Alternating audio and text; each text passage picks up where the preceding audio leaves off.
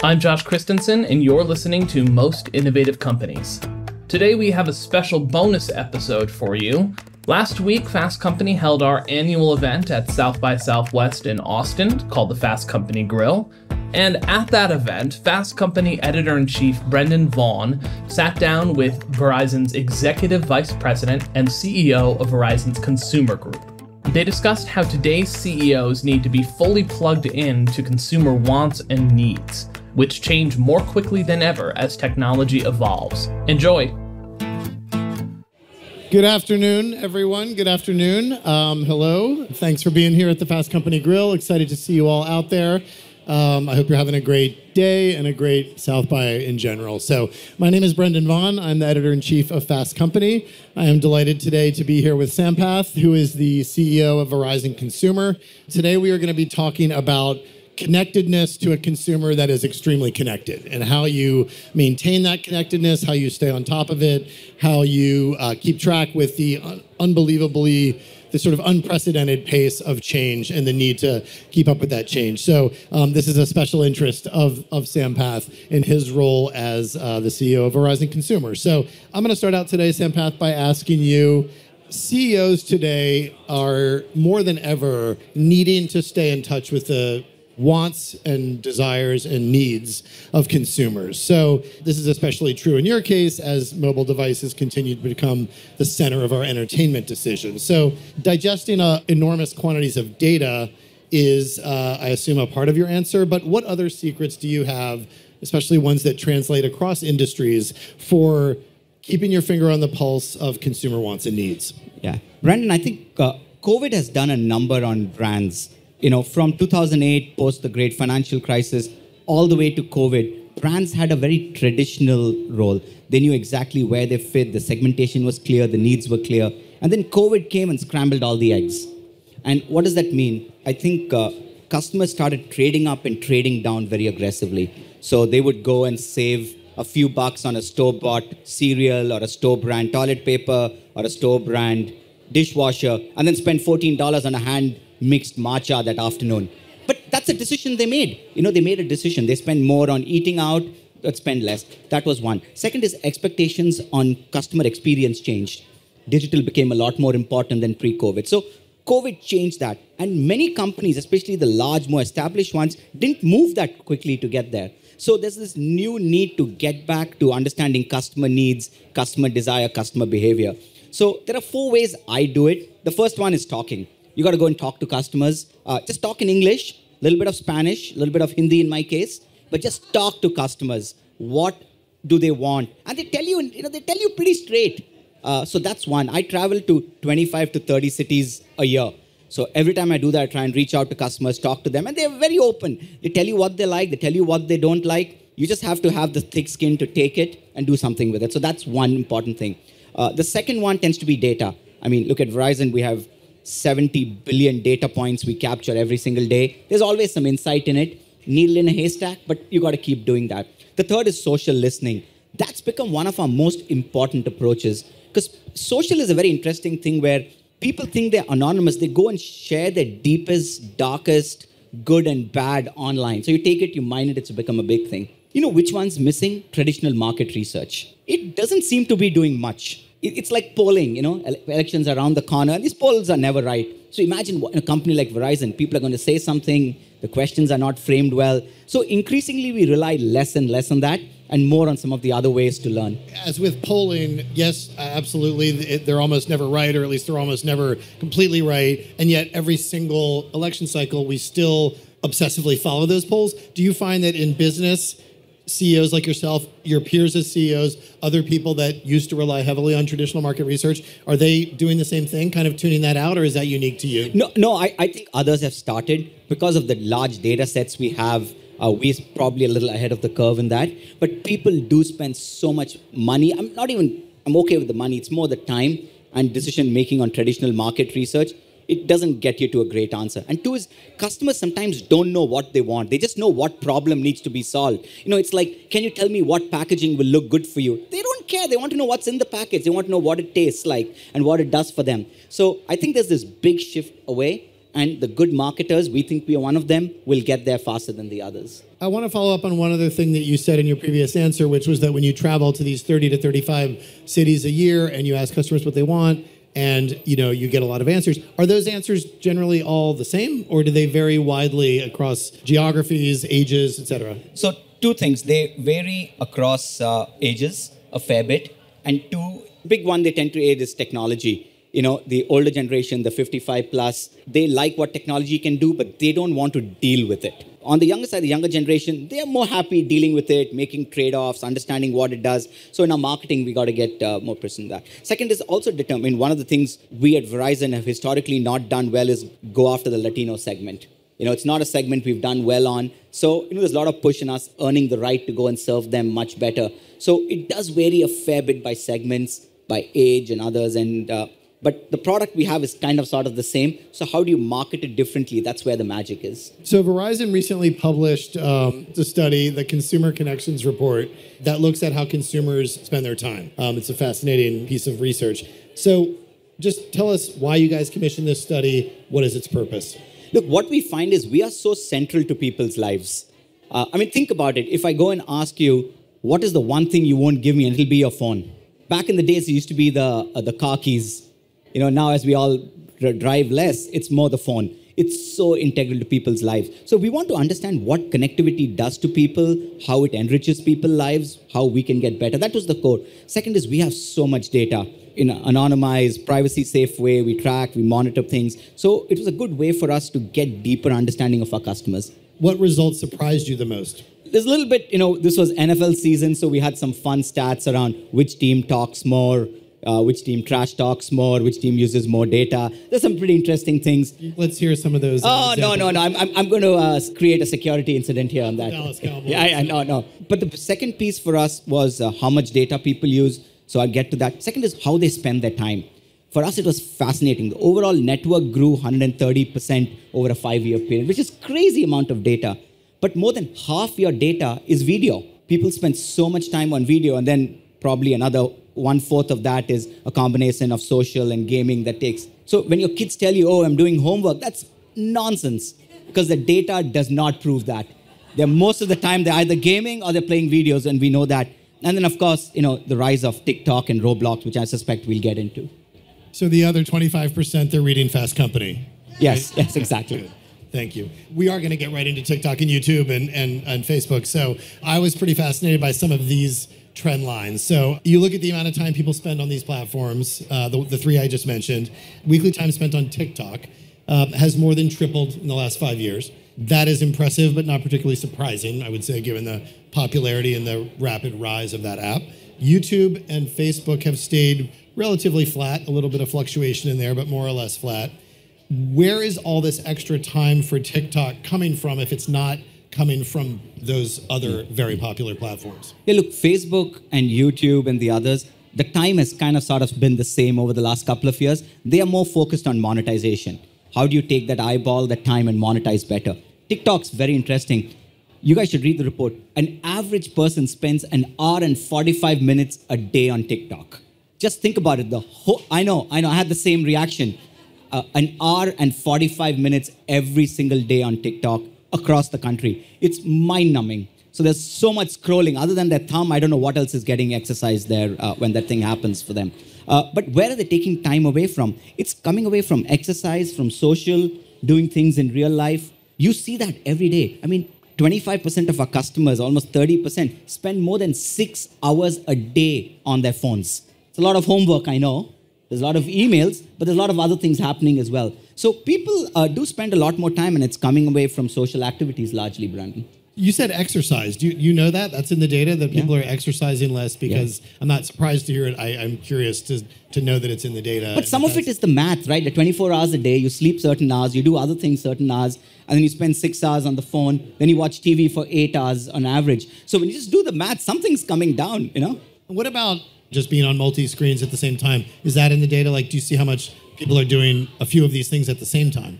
We do see some form of uh, multitasking that happens, but it's it's kind of not that much. I mean, just think if you're going on TikTok, you're not doing TikTok and Facebook. You know, the human mind can only process that much. So you do see there's some passive activities like video watching. Then people will use a secondary screen. So they'll watch a Netflix and then they'll text, or they'll watch Netflix and then they'll use uh, TikTok or Twitter to, or X to follow that piece. But some activities are very primary activities. TikTok kind of is in that bucket. There was also some really interesting data in the study about geography, and a lot of that was pandemic related. People moved around a lot then. What can you tell us about the big trends there? It's fascinating just to kind of state the obvious, I suppose, but cell phone data is, is maybe our most reliable source of that information because the customer doesn't change their plan; they just move, and you see that. So, tell us what you what you observe there. It's really accurate data in terms of where people move. Two things: when you move, the first thing you do is change your billing address. So you knew you moved from A to B. The second thing is you just use your phone differently. Texas is hot. You don't need me to tell you that. You're all here. But Texas is hot in more ways than one. It is doing so well in terms of population. But the big shifts, you know, people have moved from New York, New Jersey, Connecticut to Florida. There's a lot of movement to Florida. People from the West Coast, California have moved to Texas, Arizona. And it's pretty consistent. I mean, Florida saw 1.8 million more people post COVID than pre COVID, and the trend continues. Now, it's a problem for us because when you move, you take your bag, you put your stuff in a U haul, and you're there in two days from now. But I can't move network capacity that fast. So I have to build, and it takes me two to three years to build network capacity. So we've been working so hard to catch up with the trends uh, in terms of population movement. What are the next trends? Do you see? I mean, one other state, if I remember correctly, correct me if I'm wrong here, but yeah, it was California to Texas and Arizona. It was New York to New Jersey. That actually seemed weird to me. It's like, isn't that always the case? New York to New Jersey, but New York to New Jersey, Florida, and North Carolina. Yes. Right. That was the other state. What little like little increases, little telling bumps do you see that might lead to bigger trends down the Look, line? I, I, I think the Nashville, Tennessee area is doing really well. I don't know if it has anything to do with Taylor Swift. I probably doesn't, but it's doing really well in terms of movements, people coming in. Uh, also, a lot of educated people are moving into Tennessee, uh, Nashville in general. North Carolina, the Research Triangle is seeing a, resurgence one, one more time. It kind of stopped a couple of years ago. It's kind of picking up one again and, and, and doing that piece. Look, as a New Jersey resident, I don't know why you're so surprised people from New York are moving in there. oh, I'm not surprised that they're doing it. I'm just surprised that there's anything new about it. It's a garden state. You're going to love it. I'm a huge Jersey fan. My family's from Jersey. There's no shade to New Jersey at all. I just didn't. I was surprised that it was new. That's all. So, do you see any signs? Um, you know, anecdotally, this is totally anecdotal, just my observation.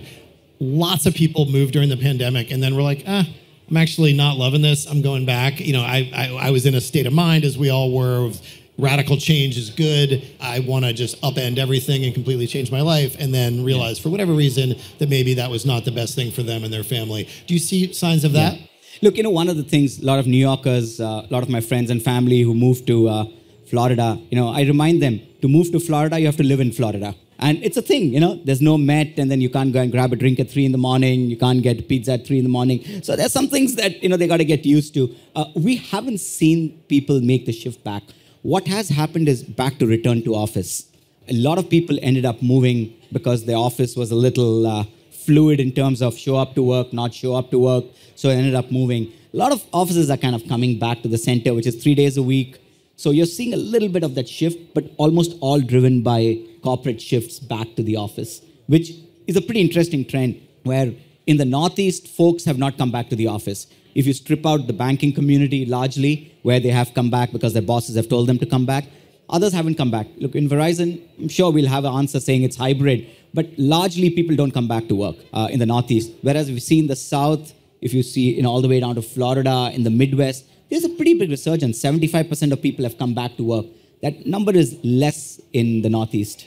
Yeah, there was a the Times actually just published a story a couple days ago that had a pretty surprising overall conclusion, which uh, was that 80% of working Americans are back at their workplace, whatever that may be. That could be a store where you need to be there to do the job, or it can be an office if you're a knowledge worker where you don't necessarily need to be there to do, to do the job. 10% hybrid, 10% fully remote. But when you started to dice it in different ways, by education level, for example, changed significantly. I'm sure that when you start to dice it by geography, like you're just saying, would have also changed significantly. Nevertheless, I was surprised. Maybe I'm in a, a bubble of you know sort of media knowledge type work in New York City, where lots of people are either remote or hybrid. But I was pretty shocked at that 80% number. It doesn't feel like that's the case, No. but it is actually the case. I, I- I mean, I think you just have to go to your chopped, you know, the chopped salad line in uh, in Bryant Park. That's a great indicator of how many people have come back to work. The lines are not as hot as it used to be, but I think it's the de-averaging effect because if you strip out people who have no choice, like in our stores, you know, we run one of the largest retailers in the country. You can't go to work in a store if you don't go to work in a store. Same with the technicians who go home and install stuff. So when you strip that out, when you strip the banking sector out, when you strip Southern and Midwest out, it's pretty stark in the Northeast in terms of people not coming back. So there's some de-averaging. I think it has long-term implications for commercial real estate and what happens. But the networks are ready. You know, we've also invested so much in network connectivity in people's homes over the last five years that you know it actually works well. Perfect segue to my next question, which actually has to do with home internet. You know, we talked mostly about mobile. Home internet also growing rapidly. Some of that must be due to cord cutting.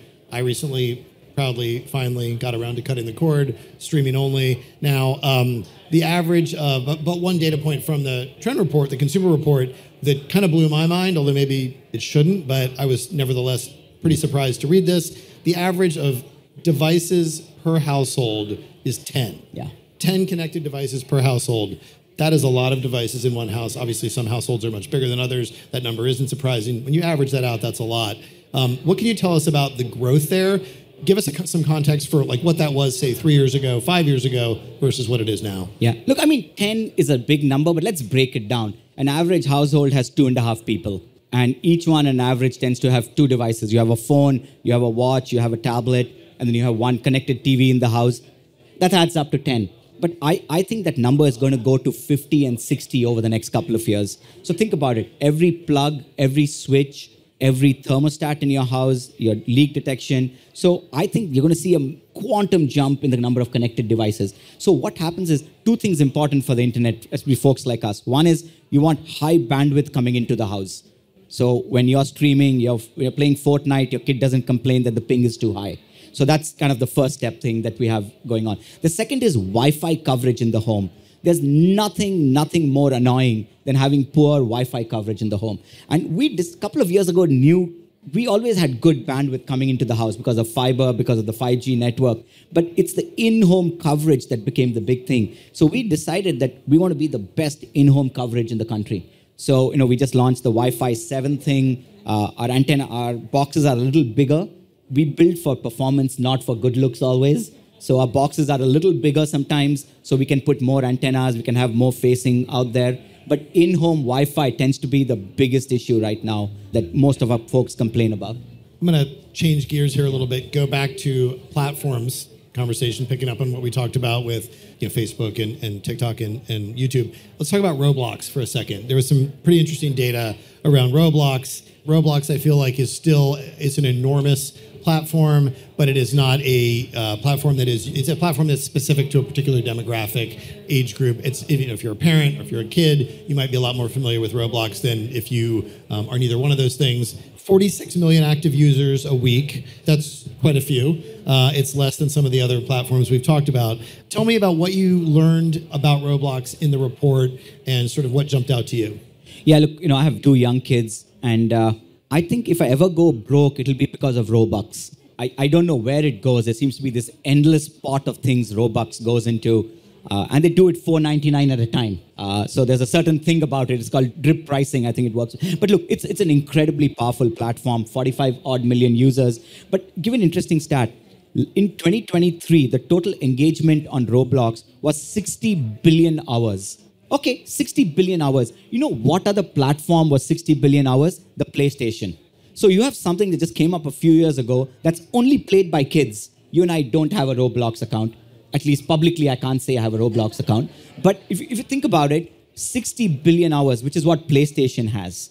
Uh, of course, they monetize much less. PlayStation's a 20 billion monetization. This is a two and a half, three billion dollar monetization. But an active user spends two hours a day on Roblox.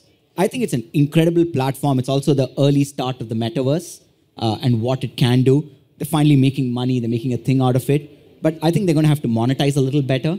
I mean, you can't spend 60 billion hours and only monetize two and a half, three billion dollars. So there's a monetization piece there. The second is age groups.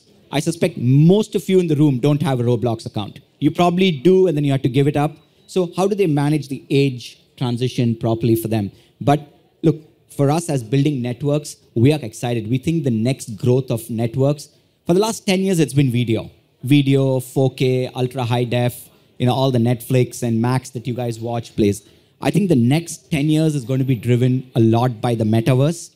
Uh, and I want to talk a little bit about that. And the second is AI, because you know you, you have all these chips producing all the data. You got to move that stuff around. If you don't move it, it ain't worth much. So we are excited. It could be the growth of the next tsunami of data that's happening keep going on the metaverse. I would love to hear a little bit more about, and, and, actually, before we get into that, my version of your Roblox, the monetization that it may only be would you say three billion dollars on on uh, sixty billion hours. Yeah, that's nowhere near PlayStation. Um, my version of that is, of course, Fortnite, where the amount of times like skins are purchased on my card and I wake up and see more skins being bought. I'm like, what the hell it's a skin? I know what a skin is. I don't really understand the value, but Roblox maybe needs to find its version of of that, which costs a lot more than you know some of the things that are available on on there. So back to the metaverse, I would love to hear just a little bit more, whether it's from the report or just your own observations um, as somebody who pays a, a lot of attention to these kinds of digital trends and where they're going. You know, the metaverse sort of took a back seat to AI in 2023 and the end of 2022. Uh, but it has been bubbling, you know, beneath the surface. Development continues. Um, you know, are we poised for a, a big comeback, yeah. a big cultural moment, or not? You know, metaverse started off strong, but that there wasn't much to do in the metaverse. You know, it's like the dog who chased the car. I've never seen a dog that actually drives the car. You know, so metaverse, I think, a little bit like that. A lot of people got onto it and then they stalled in, in terms. But I think you need vertical use cases to make it work.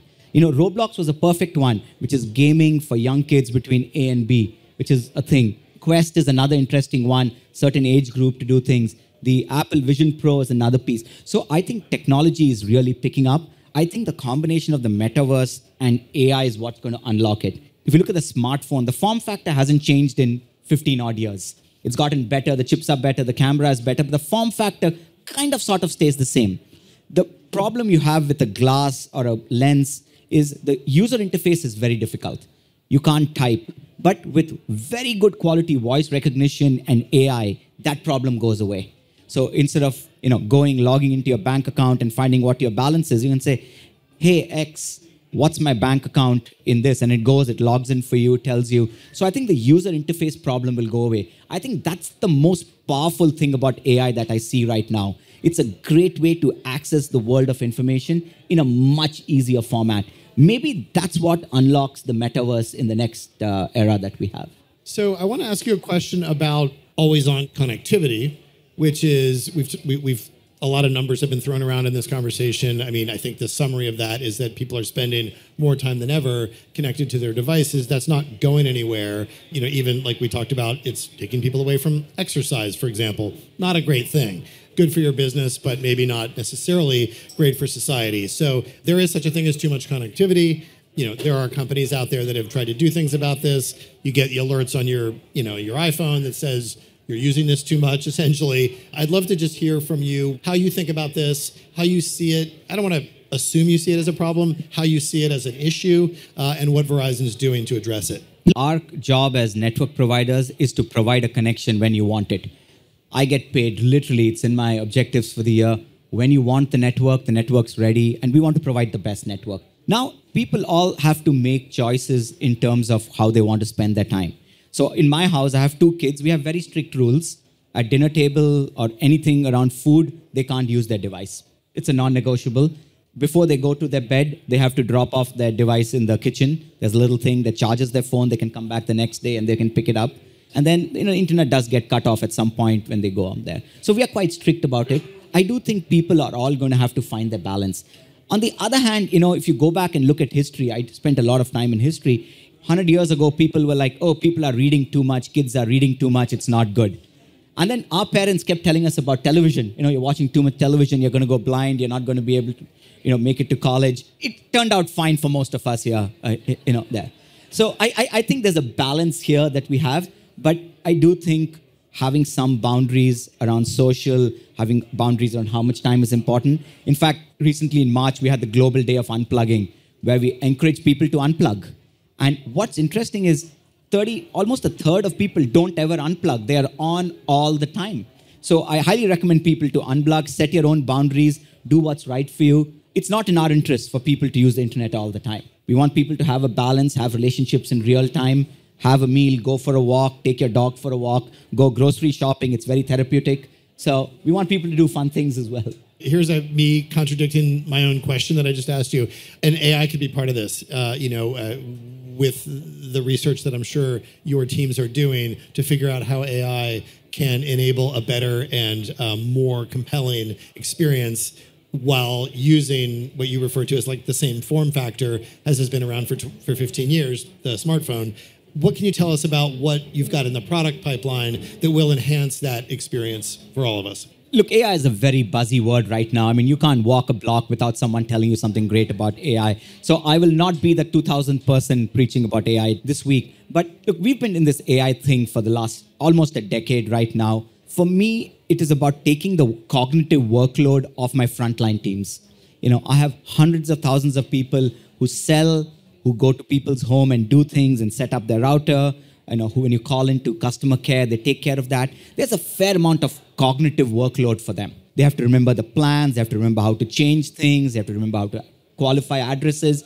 Imagine if all that went away and they could just chat with customers, empathize with customers, sympathize with customers, maybe even sell a little more. It's a great use of time. So that's where we are spending significant amount of time on that. The second and a more societal piece, over the last 20 years in America, outsourcing, offshoring has literally been the only deflationary thing that has worked.